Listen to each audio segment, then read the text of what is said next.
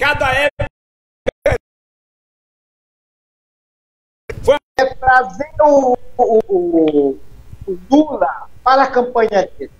Então ele vem o Lula, uh, ele não tem proposta, a proposta dele que aparece nos comerciais é do governo do estado, e as pessoas ficam perguntando, afinal de contas, quem é candidato? É o governador ou, é, ou esse, ou esse Rubem Júnior? Então, esse está sendo um dos problemas dele aqui. Lá em Barra do Corda, lá em Barra do Corda, o candidato do governador lá, que é, do, é o, o comunista, uh, deixa eu ver aqui o nome do camarada, é Gil Lopes, ele tirou a foice, tirou o martelo, tirou o vermelho, e os cartazes dele ele parece verde e amarelo, do Bolsonaro. Aí eu não entendi esse negócio aí. tá bom. Como é que tá a Imperatriz? Me passa aí. Imperatriz Volta só chover. ainda tá tudo embolado. Imperatriz tá tudo embolado ainda. Ninguém pode dizer nada aqui ainda. Mas tá tudo embolado. Tem muita gente aí na frente. O comunista Marco Aurélio, tá bem? Não, Marco Aurélio não tá essas coisas todas. Tá tudo embolado. Ele poderá. Ele tá crescendo, né? Na nossa opinião, ele tá crescendo. Sim. Mas ainda não está essas coisas todas, não. Ainda, a, a, o que a gente vê falar, né? Não é quer dizer que, que eu sei de nada. Eu, eu, acredito que o Assis, Assis Ramos está em primeiro, aí vem segundo entre Madeira e Wilde, terceiro entre é, Marco Aurélio, assim, tudo pertinho do outro tudo pertinho do outro. Aqui Sim. a gente fica na praça aqui e vem muita gente aqui na praça e, e conversa, a gente conversa o tempo todo. Aqui ninguém, ninguém faz campanha, a gente fala de política. E as pessoas fazem quem é, quem é meu candidato, quem não é, eu voto em fulano, voto em Ninguém pede voto para ninguém aqui. Aqui nós ficamos só ouvindo as pessoas falarem aqui na praça, entendeu?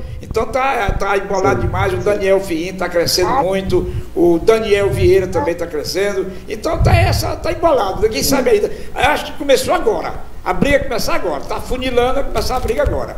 Tá bom? É, pastor Josué. Considerando, Timóteo. É, oi. E aí? É, o, Oi. Oi. o nosso partido aí, o Podemos, o, o Daniel Fim aí, a gente tá alcançando muitos bairros aí. Os bairros, os bairros mais necessitados mesmo, que nem a gente teve ontem lá no bairro da Caema lá. E a gente visitou, fizemos, não fizemos reunião, ficamos fazendo parada, andando, falando do, do nosso projeto aí. E o debate foi. Eu acompanhei o debate lá na difusora mesmo. Olhei tudo lá, filmei que tinha que filmar lá. E a gente, nós também, nós estamos crescendo muito dentro da Imperatriz. E escuta, Imperatriz, a eleição. A eleição vai ser, vai ser outra surpresa de novo, igual aquela. Vai, vai ter surpresa. Entendeu? Imperatriz vai ter surpresa.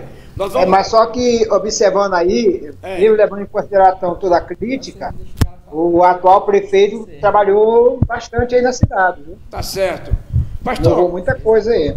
Pastor, nós vamos, nós, vamos, nós vamos parar um pouquinho aqui, porque já vai começar o horário eleitoral, nós temos que entrar de qualquer maneira, tá bom? E amanhã Sim. a gente volta a conversar, se você quiser conversar com a gente, pode vir amanhã, nós estamos aqui para receber, tá bom?